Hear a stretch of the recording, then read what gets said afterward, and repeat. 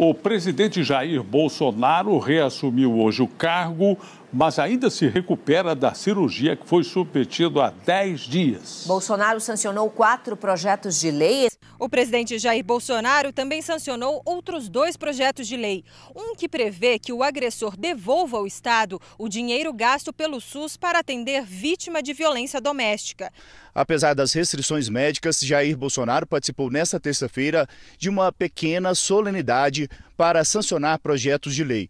Um deles determina que condenados por agressões domésticas podem ser obrigados a ressarcir o Sistema Único de Saúde pelos gastos com o tratamento médico das vítimas.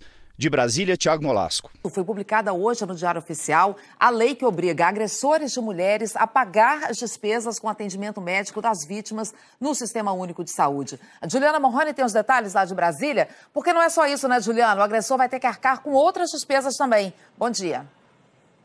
Oi, Ana, ainda impressionada com as imagens que vocês acabaram de mostrar, viu? Bom dia a você, bom dia, Chico, bom dia a todos. Ana, e essa punição saindo do bolso do agressor não poderá ser usada para atenuar a pena em uma condenação. Para garantir essa cobrança, foi alterado um trecho da Lei Maria da Penha.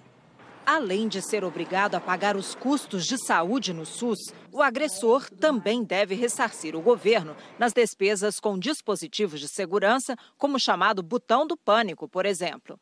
A lei diz que esse pagamento não pode prejudicar o patrimônio da mulher agredida, nem dos filhos, e também não pode ser usado como abatimento da pena do agressor.